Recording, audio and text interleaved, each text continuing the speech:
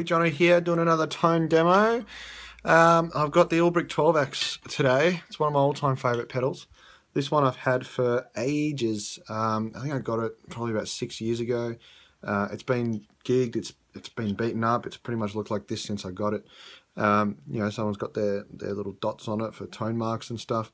Um, now, as far as I know, this is just a standard 12axe, um, but this one was actually made for Jimmy Barnes. I know that because I, I, got it serviced by Dave Ulbrick himself, um, and he uh, yeah he told me that uh, yeah he made this one for Jimmy Barnes. So I got it secondhand, and uh, that's that's what it, that's what happened. Um, yeah, so obviously it's got the, the back panel and stuff, and, and um, obviously the serial numbers written there, and uh, there was a new switch put in it in 2007. That wasn't by me. Anyways, that's just a bit of history on this specific pedal. Um, he's been making the 12axe the same way since day one. Um, since the, uh, I think they came out in the late 80s, early 90s. Oh, well, the first edition did.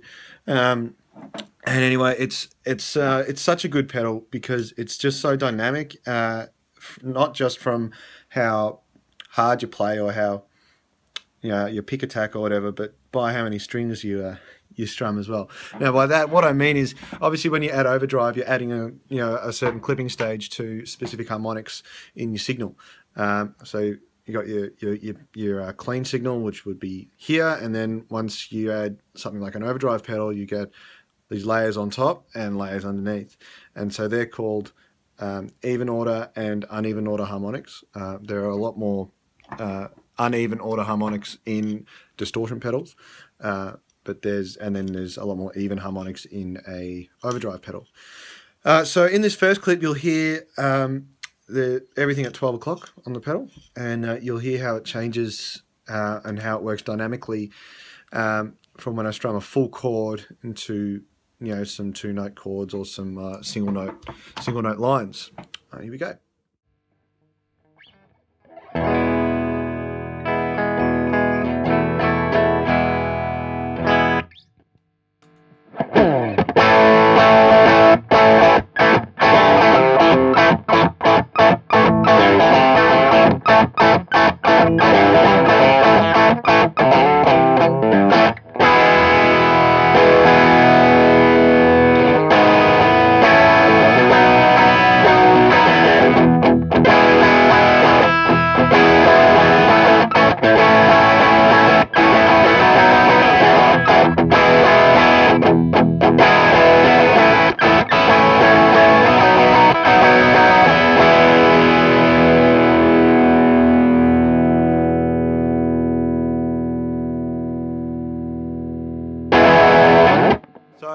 Uh, in this next clip, uh, I'm going to use the marks that uh, have been put on the pedal.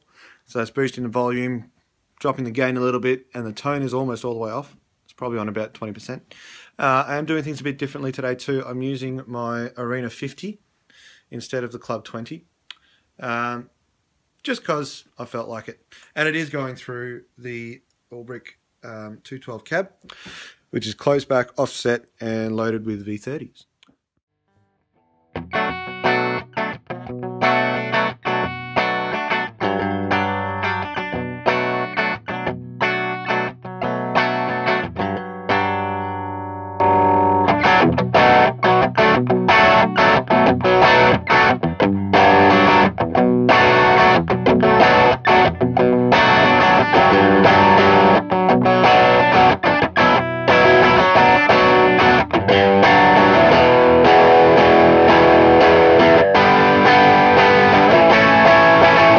That clip is something that I really love about this pedal is that um, you can really push the amp, even a 50 watt single channel head like this with set really, really clean. Um, yeah, just boosting that volume is uh, helps to push the amp um, into a bit more of like a punchy mid range, kind of like a power amp kind of overdrive, power amp gain feel. Um, it's, that's hard to portray in a video, um, obviously, but uh, when uh, when you boost the volume with this pedal, you can feel that um, you're getting more push and more like mid range and more like growl kind of out of it. Um, so in this next clip, you'll um, you'll hear how you'll hear how the harmonics kind of do their thing and differ and, and jump around a bit. Um, I'm going to play a little ninth chord thing um, and uh, you know using that using those notes in a in a ninth chord. Um, and uh, you'll hear how the pedal reacts to that and how with a strat and a clean amp you can still get some pretty heavy tones.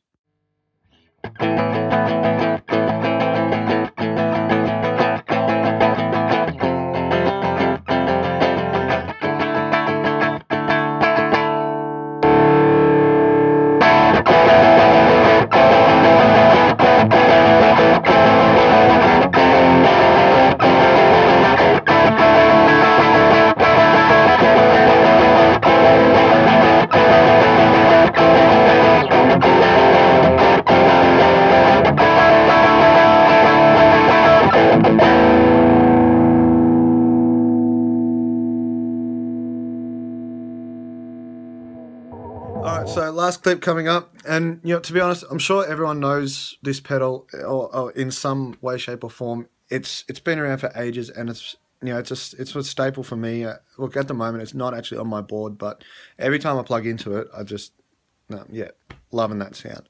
So I'm just going to have a bit of fun on this last this last clip, and um, instead of doing a Stevie jam, I'm going to do a bit of a John Mayer jam.